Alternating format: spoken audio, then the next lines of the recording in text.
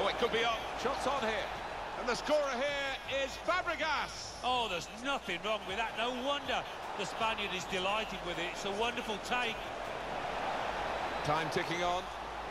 Just over